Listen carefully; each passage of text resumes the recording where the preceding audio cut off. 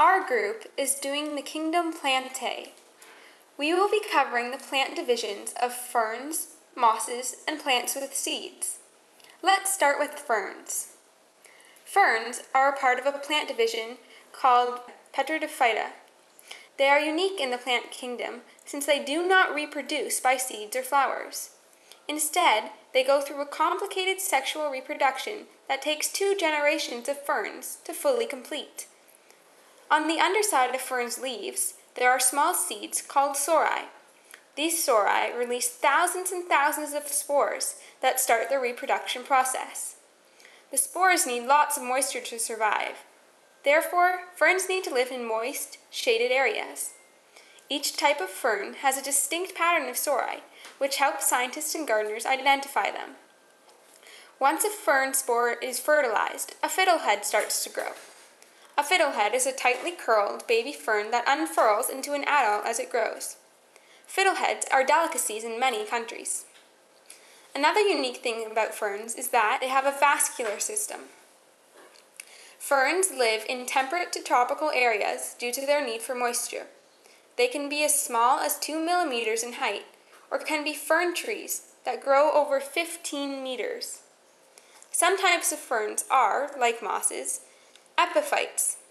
That means that they grow on the stems or branches of other plants, yet get their own nutrients by photosynthesizing for themselves. Ferns contribute to organic material in the ground, which helps other plants grow. This means that ferns can actually be overgrown by other plants that they help to nourish.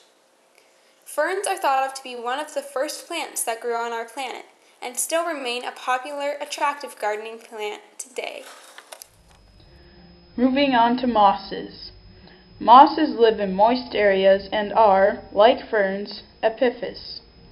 This means they live on other things like dead and decomposing trees or rocks. They lack a vascular system, a xylem and phloem. Instead, they have a lightly extended cell which helps carry nutrients through their body. This greatly limits their size. Mosses must collect water from small filaments called rhizoids. When mosses die, they become organic matter that fertilizes the soil for other plants like ferns. As within ferns, there are two generations of moss. The first generation is an actual plant growing and collecting nutrients, and the second generation is the plant producing spores for reproduction. Sperm transfer from the male sex organ to the female sex organ must occur in moist conditions. When the sperms mature, they are released and enter the female organ. When the sperm reaches the egg, the moss is officially considered into the second generation. In today's life, dead moss is called peat and is used commonly for fertilizer.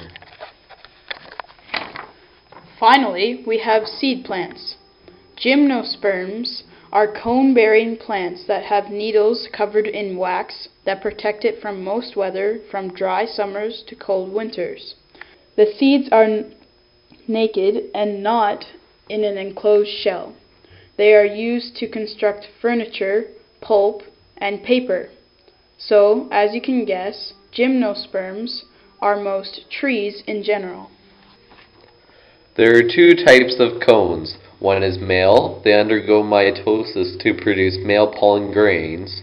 The female have ovaries in which the megaspore male cell undergoes mitosis to produce a female pollen. The pollen then gets trapped on the sticky sap by the female cone and fertilization begins. The diploid zygote develops into an embryo, then becomes the seed. The mature seeds fall out of the female cones. It can be several years that the seedlings grow into mature plants that will produce their own cones.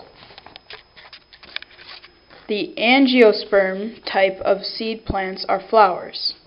There can be male, female, or even mixed. Within the chambers of the microspore mother cell undergoes mitosis to produce only one female megaspore. Pollen is aided by wind, insects, birds, and even bats. The pollen gets stuck to the sticky part of the stigma of another flower. When fertilization begins, the diploid zygote grows into an embryo, which turns into a seed. When the seeds start to grow, the ovaries start the fruit enclosing of the seeds. Fruit offers protection for the seeds and may aid in the dispersal of the seeds. The seedlings can produce mature plants in times ranging between a few months to several years. So now we've covered the kingdom plantae in just a few minutes. As you can see, plants are an important part of our everyday lives.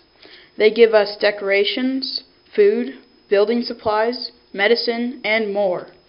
Hopefully this presentation gave you a little deeper look into the complex biology of the kingdom plantae.